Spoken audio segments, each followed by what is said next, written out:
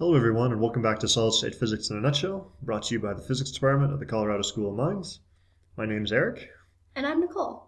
So far we've talked about different ways of visualizing crystal structures, but now we want to develop a way to label different families of planes. We'll call the labeling notation Miller indices. While this may seem underwhelming, bear with us as this will become extremely useful in experimental applications such as diffraction and thin film growth.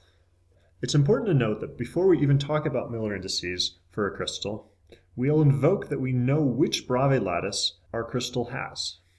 For example, for the same index numbers, planes of a cubic lattice would be different than those planes associated with a hexagonal lattice.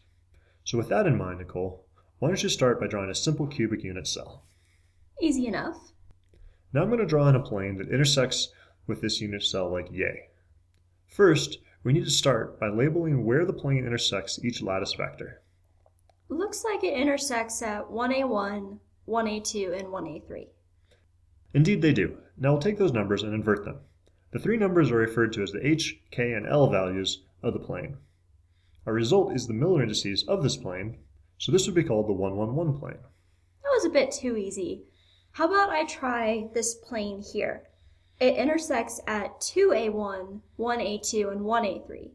Taking the reciprocal of each gives us 1 half, 1, and 1. So this would be the 1 half, 1, 1 plane. You're almost right, we want everything to be an integer. Thus, we'll scale everything to the smallest integer and label this plane as the 1, 2, 2 plane. Could we then have a 2, 4, 4 plane? Absolutely. That's why when we talk about Miller indices, we usually talk about labeling families of planes rather than unique planes. But what if we have a plane like this, where it never crosses an intercept like this one? Would we just treat that intercept as infinity, and when we take the reciprocal of 1 infinity 1, we'd get the 1 0 1 plane? We said earlier that planes in different crystal structures would look different. To illustrate this, let's look at a hexagonal lattice with lattice vectors a1, a2, and a3 as so.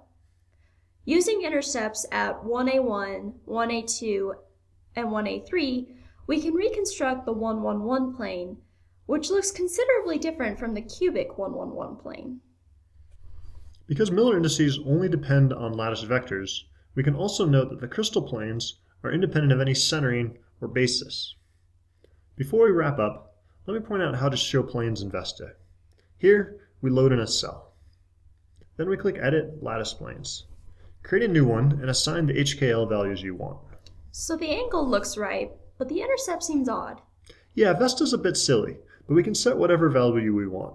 Setting it to d equals 1 is probably a good start. We can add other planes too. Earlier we talked about facets. Can we visualize those too? Oh, behold the power of Vesta.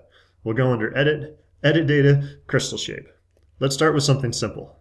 A cubic crystal with 100 faces we can see that the underlying atoms inside this crystal. If you want to change the color of the crystal, you've got to change the checkbox down here to custom color. Ooh, shiny. So we could change the boundary to let me see which atoms are at the surface. And here we go. It's rare for a crystal to have just one low energy face. Let's add a 111 face that truncates this cube. Once again, we can see what atoms are at the surface. This sort of information is pretty important for thin film growth, since you want to know what atoms are exposed at your surface. And with that, we've wrapped up Miller indices. Thanks for watching Solid State Physics in a Nutshell. See you next time.